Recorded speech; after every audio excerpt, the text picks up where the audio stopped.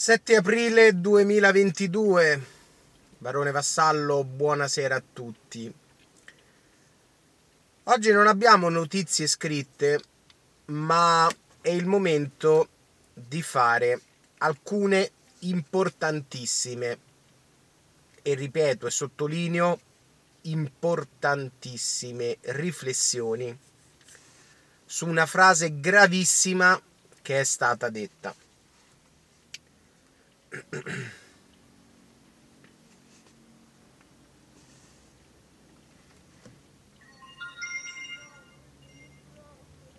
chiediamo se il prezzo del gas possa essere scambiato con la pace. Ecco, questo è quello che vogliamo.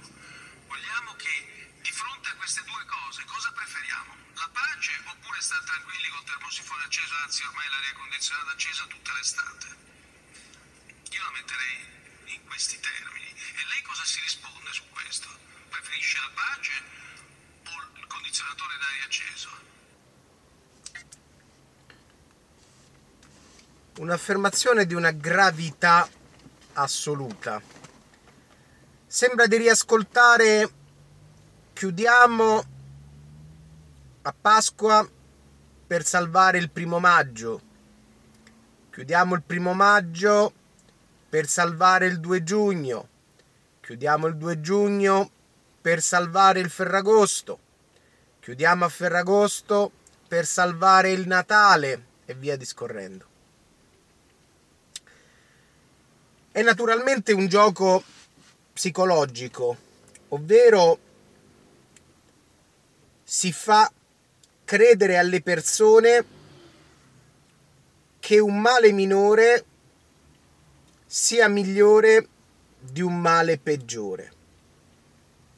E si ripete lo stesso giochetto che hanno fatto dal 10 marzo 2020 in poi.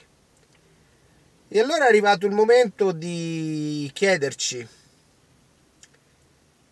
perché una persona di una certa età, di 75 anni, in giacca e cravatta, che parla tutta fe- precisa, che ha fatto carriera con le banche, che viene definita da chi lo ha messo lì una persona super. Perché fa tale presa su un popolo di inetti? Perché io ve lo dico sinceramente, il popolo italiano apprezzerà moltissimo questa frase detta da questo vile affarista e cominceremo con questo giochino delle austerity. Ormai il giochetto del sacro raffreddore è quasi giunto al capolinea, dopo oltre due anni. Adesso inizierà il giochetto dell'austerity. Un'austerity la quale è stata voluta stessa da loro. E, e io penso che la frase appena detta debba essere un monito di allarme davvero per tutti o perlomeno per quelle persone che ad oggi ancora riescono a ragionare. Perché vedete,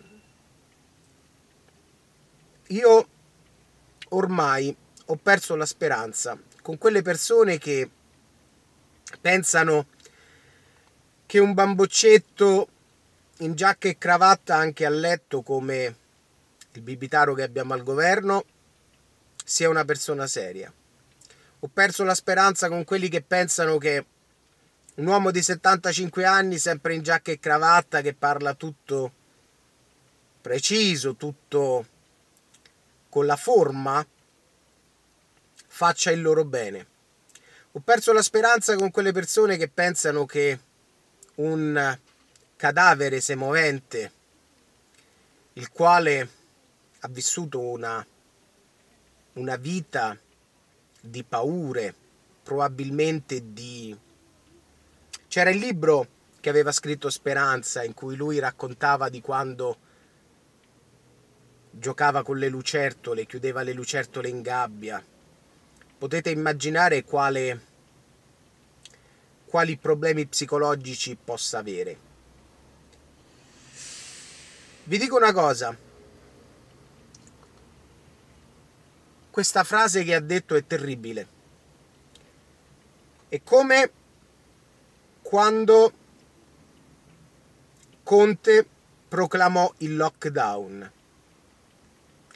Stiamo per addentrarci in un altro tunnel nero che hanno provocato loro, che fa parte di quel gioco folle per portare tutto il popolo italiano alla totale sottomissione. Quello che abbiamo visto fino ad oggi. Io ricorderò sempre una persona che conosco, una ragazza covigliona sfegatata che ha fatto sacri rimedi, che metteva il sacro feticcio anche quando andava a letto. La ricordo a dicembre in Gran Bretagna, alla stazione, nel treno, nei pub senza alcun feticcio. È arrivata qui in Italia ha rimesso subito tutto, ha ricominciato tutto da capo. Questo per dire che cosa? Per dire che il popolo italiano è il popolo più sottomesso e più cretino che esista, penso attualmente, sulla faccia della terra. Loro lo sanno. E lasciate che ve lo dica. L'austerity partirà dall'Italia. Molte altre nazioni proveranno a seguire l'esempio italiano. Molte altre non riusciranno. Forse la maggior parte non riuscirà. Ma l'Italia e altri popolini assurdi, come quelli che abbiamo visto fino, fino a pochi giorni fa,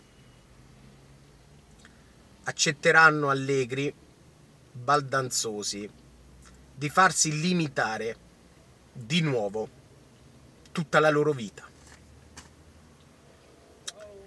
Il 10 aprile saremo tutti a Filottrano. Saremo tutti alla riunione di Motore Italia. Dovremmo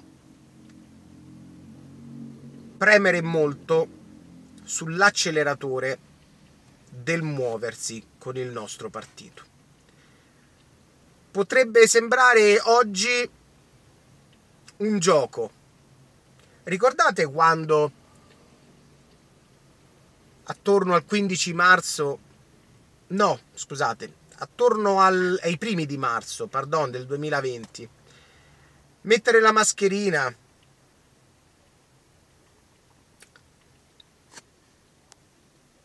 salutarsi col pugno sembrava un gioco. Sembrava un gioco anche per alcuni divertente. Il rimanere a casa. Quanti abbiamo sentito che dicevano Ah, finalmente mi riposo, finalmente mi riposo e dopo quasi che si buttavano dal balcone. Ecco. Adesso succederà la stessa cosa. Spengiamo l'aria condizionata. Quanto si sta bene sventolandosi con le foglie di fico quanto si sta bene al buio, quanto si sta bene continuando a leggere, cominciando a leggere un libro a lume di candela. All'inizio sembrerà un gioco, ve lo dico io. Entreremo in un tunnel nero dal quale per uscire passeranno il doppio degli anni che abbiamo passato fino ad oggi per il raffreddore sacro. Questo è un monito di allarme pesantissimo pesantissimo.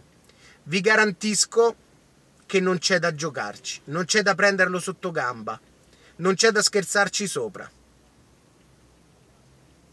Non è più possibile continuare ad avere questi personaggi. Questi personaggi renderanno la vita nostra e di quelli che oggi sono giovanissimi terribile terribile. Dimenticate totalmente se non ci muoveremo quello che abbiamo vissuto fino a due anni fa. Quel mondo lì lo stanno facendo scomparire. Riflettiamoci, riflettiamoci attentamente. Quello che ha detto è gravissimo. A domani.